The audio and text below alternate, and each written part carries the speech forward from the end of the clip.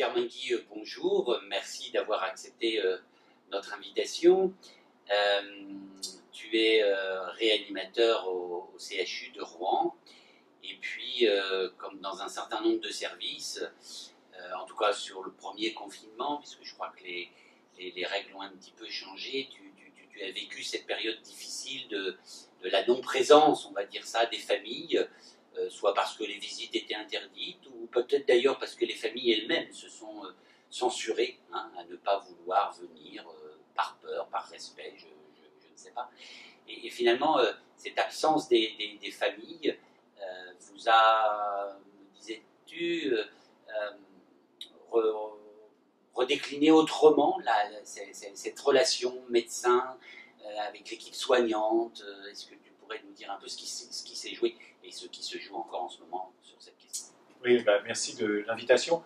Euh, oui, c'est une des choses qui nous est apparue, euh, entre autres, hein, puisque l'épidémie de Covid de, mars-avril, dans tous les services hospitaliers, mais dans les réanimations en particulier, dans lesquelles je travaille depuis longtemps, euh, nous, a, nous, a fait, nous a un peu bousculé dans nos, nos habitudes, nos pratiques, notre, euh, notre vécu, euh, parce que les soignants ont aussi un vécu de ce qui se passe dans leur service, de, vécu quotidien.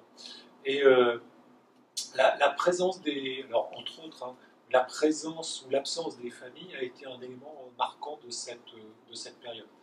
je m'explique.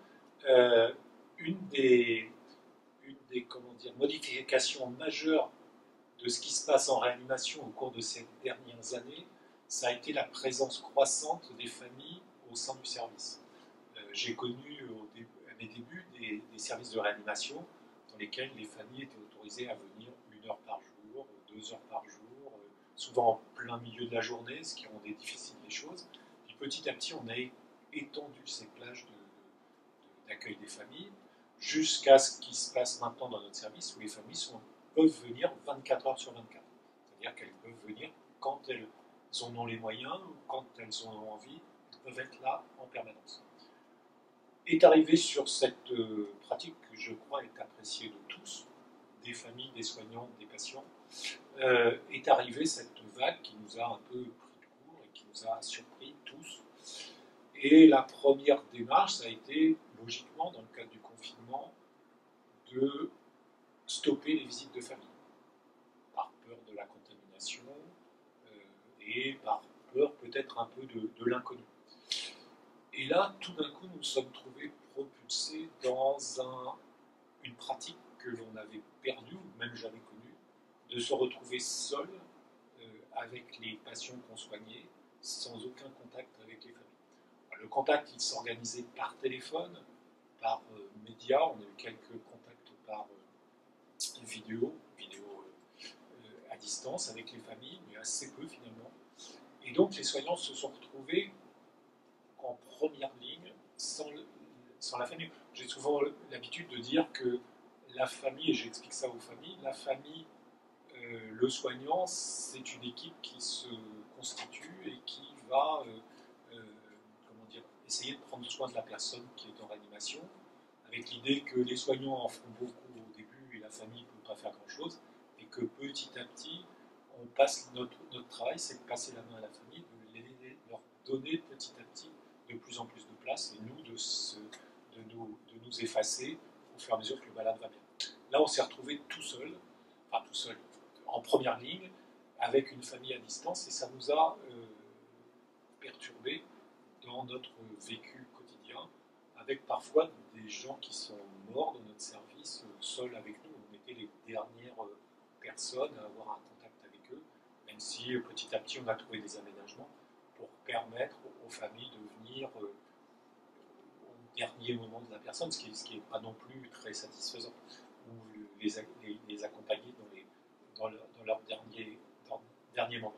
Donc je crois que ça nous a euh, perturbés et ça nous a. Euh, enfin, ça, je pense que ça mènera un questionnement sur cette relation à trois, famille, soignants, patients, qui s'est nouée au fil des ans peut-être sans qu'on s'en qu'on en prenne bien conscience dans nos services de réanimation, et qui, euh, nous amènera à, peut-être encore améliorer nos pratiques. En tout cas, là, à nouveau, on a des patients Covid, et je, constate que de nous-mêmes, on a redonné une place aux familles, et que peut-être, parce qu'on a moins peur, parce qu'on sait mieux se protéger, parce que je, n'est peut-être pas complètement conscient dans ce que nous faisons, mais on redonne une place, et, je pense que cette, la situation est en train d'évoluer. Je pense qu'au terme de cette épidémie, on aura là un vrai sujet de réflexion sur cette relation. Edgar, euh, tu n'es pas sans savoir que une des craintes peut-être de, nos dirigeants, une de vos craintes peut-être, une crainte de la population, et que finalement, euh, en dehors de l'AREA, point de salut. Que finalement, euh, le, risque serait d'être amené à, trier hein, ce, mot, euh, mais qui peut-être fait partie du vocabulaire habituel de l'AREA. Est-ce que dans ces crises Covid, il te semble que nous avons à trier? Si oui, quels en seraient les critères? Alors, c'est une question euh, difficile. Euh, d'abord, premier élément, en dehors de la réanimation point de salut, c'est pas exact, parce que d'abord, il y a toutes les personnes asymptomatiques. D'autre part, il y a beaucoup de personnes qui sont Covid avec des symptômes qui sont prises en charge dans des services de médecine conventionnelle, où ça se passe très bien, on les soigne, on les prend en charge, ils peuvent ressortir, par exemple, éventuellement des pour eux, c'est pas une partie de plaisir. Ils ont éventuellement des, séquelles après, mais ils n'ont pas besoin de la réanimation et donc on peut les prendre en charge. Et puis, il y a cette petite partie des patients euh, qui vont avoir besoin de soins intensifs, de réanimation, de soins continus. Et donc, ces, patients-là, ils sont, pris en charge. Alors, la question du, tri ou du triage à l'entrée de la réanimation, effectivement, une question tout à fait, euh, tout à fait importante et qui, et perturbante, enfin pour tout le monde, pour celui qui trie, pour celui et, pour l'entourage de des, personnes pour lesquelles on peut estimer qu'il y a un besoin de réanimation. Il faut remettre ça dans le contexte. En réanimation, le tri des patients à l'entrée, c'est quelque chose qu'on fait en permanence pour toutes les pathologies euh, et, qu'on fait sur des critères qui sont médicaux. Le tri, ce n'est pas, pas des critères logistiques. On ne trie pas parce qu'on n'a pas de place, ou parce qu'on n'a pas de moyens, ou parce qu'on n'a pas de, capacité à soigner les personnes. On, trie en fonction du bénéfice attendu de la réanimation. C'est-à-dire que si euh, on estime qu'il n'est pas légitime de prendre en charge une personne en réanimation, si le bénéfice attendu est, est défavorable pour elle. Et si le, les soins de réanimation peuvent être euh, euh, angoissants, douloureux, euh, pour un bénéfice final qui est qui, n'est pas, favorable. Donc le tri, c'est quelque chose qu'on fait, tout le temps dans un service de réanimation.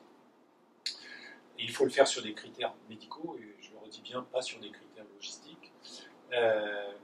et il faut pour cela avoir plusieurs éléments, c'est-à-dire bien connaître la pathologie, ce qui n'était pas tout à fait le cas du, Covid initialement, et bien connaître la personne, c'est-à-dire dans ses antécédents, dans son environnement, dans ses, euh, dans ses pathologies en cours, dans, son espérance de vie euh, estimée.